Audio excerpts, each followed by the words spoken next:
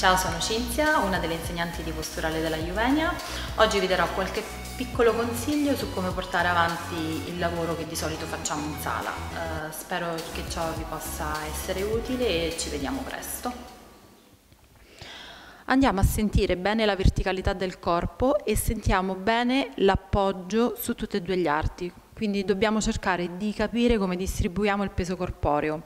Innanzitutto il peso corporeo deve essere distribuito su tutta la lunghezza del piede ed eguamente su tutte e due le gambe, quindi ci deve essere una distribuzione omogenea sia sull'arto destro che sull'arto sinistro.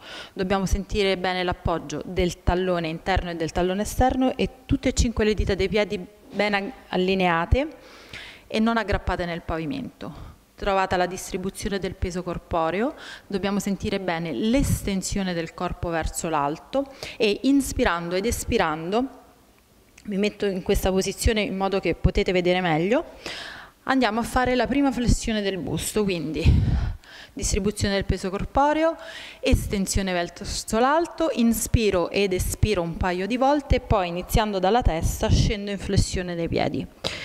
In questa prima flessione del corpo dovrò fare molta attenzione ad avere le anche allineate sulle caviglie, le spalle in linea con i polsi e la testa nella distanza tra le due mani. Man mano che sono qui respiro, abbandono la testa e rimarrò in, e rimarrò in questa, perdonatemi, in questa posizione dai 3 ai 5 minuti, non di più. Poi con controllo saliamo e ci andiamo a sdraiare. In questo momento io mi sdraierò a terra tenendo le gambe libere, per voi sarà meglio poggiare le gambe addosso alla parete, quindi farete la stessa cosa con il sedere attaccato completamente nella parete, quindi ci sdraiamo giù, per voi il sedere è attaccato alla parete e le gambe nella verticale. Una volta che sono nella verticale vado a sistemare i piedi in flessione, dorso della mano a terra, il mento verso il petto, e vado a cercare bene l'apertura delle spalle. La cosa più importante in questo momento è la respirazione, quindi inspiro dal naso in maniera naturale, espiro in maniera profonda dalla bocca facendo scendere bene il petto e la gabbia toracica verso il basso. Rimango in questa posizione per almeno 5 minuti, curando bene la respirazione, sentendo bene la spinta delle braccia che parte da dentro la schiena, l'appoggio del sedere, il mento verso il petto, il coccige ben abbassato. Dopo i primi 5 minuti andiamo ad effettuare una rotazione della testa, ok? Faccio attenzione che nella rotazione della testa il mento non si attacchi alla spalla, ma che rimanga ben allineato sul suo asse. Rimango altri 5 minuti qui, mi riposiziono nel centro, qualsiasi cosa sento che sia disallineato o che ho bisogno di aggiustare lo faccio in questo momento e faccio la stessa cosa sull'altro lato. Quindi controllo che il mento non sia vicino alla spalla ma che sia dritto bene sull'asse, la spinta delle braccia dal dorso ma soprattutto continuo a curare la respirazione.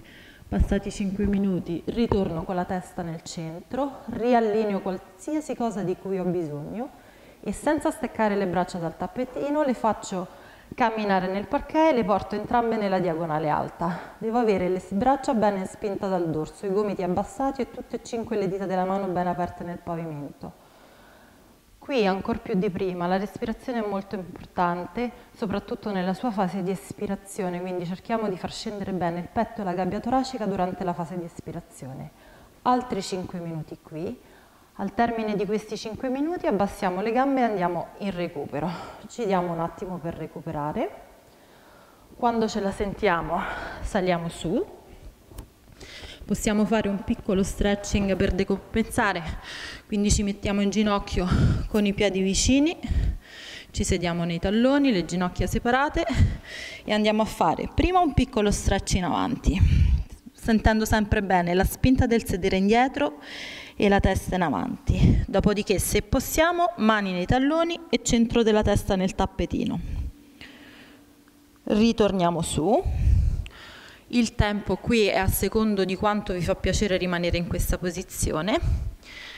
Ritroviamo la verticalità del corpo, sentiamo bene l'estensione verso l'alto, la distribuzione del peso corporeo che prevede sia la distribuzione su entrambi gli arti che l'appoggio su tutta la lunghezza del piede. Inspiriamo ed espiriamo un paio di volte e poi iniziando dalla testa di nuovo giù.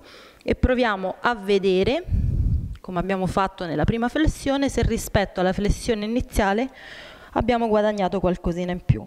Teniamo questa posizione per 3-5 minuti non di più e poi con controllo ce ne torniamo su un piccolo lavoro che vi prenderà al massimo una ventina di minuti ma che nell'allungamento quotidiano vi dà una grossa mano io vi ringrazio e ci vediamo alla prossima lezione.